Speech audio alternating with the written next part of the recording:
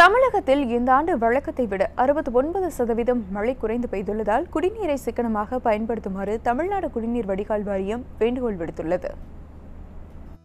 தமிழ்நாடு குடிநீர் வடிகால் வாரிய மேலாண்மை இயக்குனர் மகேஸ்வரன் வெளியிட்டுள்ள அறிக்கையில் தமிழகத்தில் வழக்கமாக பெய்யும் சராசரி மழை அளவான நூற்றி எட்டு மில்லிமீட்டரில் வெறும் முப்பத்தி நான்கு மில்லிமீட்டரே இந்த ஆண்டு பெய்துள்ளதாக குறிப்பிட்டுள்ளார்.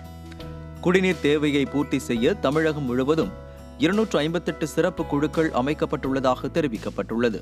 சிறப்பு குழுவில் உள்ள அலுவலர்கள் குடிநீர் வடிகால் வாரிய அதிகாரிகளுடன் ஆலோசித்து குடிநீர் முறையாக வழங்கப்பட்டு வருவதை உறுதிப்படுத்தி வருவதாக தெரிவிக்கப்பட்டுள்ளது. குடிநீர் பராமரிப்பு திட்டத்தில் உள்ள குடிநீர் குழாய்களில் ஏற்படும் கசிவுகள் வெடிப்புகள் மற்றும் மின் மோட்டாரில் ஏற்படும் பழுதுகளை போர்க்கால் அடிப்படையில் சரி செய்ய அறிவுறுத்தப்பட்டுள்ளதாக கூறப்பட்டுள்ளது. பொதுமக்கள் குடிநீரை சிக்கனமாக பயன்படுத்துமாறு வேண்டுகோள் விடுக்கப்பட்டுள்ளது.